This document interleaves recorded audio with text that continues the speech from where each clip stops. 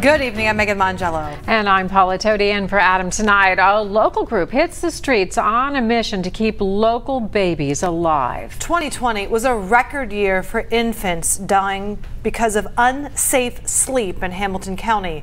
Local 12's Courtney Wheaton is here to show us who is trying to reverse that deadly trend. Courtney? Megan, just today, Jobs and Family Services workers visited three neighborhoods giving out these free swaddles and these pamphlets educating parents about infant death. Free sleep sacks!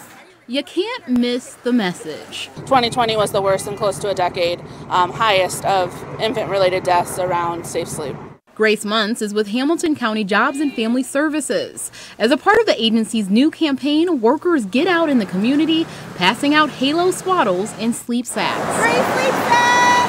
Muntz believes the pandemic could be partially to blame for more babies dying due to unsafe sleep. You didn't see as many baby showers, and honestly, some of this stuff is expensive for families. Today, these crews went from Evanston to Avondale, then to Millvale.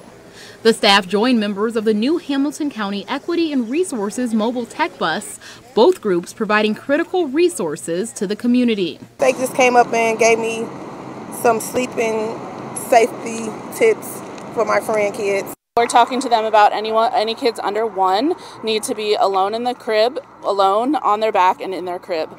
Jolena tells me she's familiar, but many people aren't.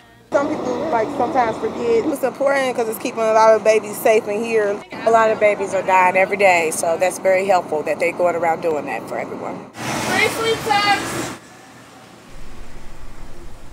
Now, workers tell me they are trying to get the word out about the campaign. They are back out in the community this Friday in a few different locations. Megan. Very important work they're doing. Thanks, Courtney. To check the schedule, you can visit local12.com, hover over the news tab, and click on the Get It Now links.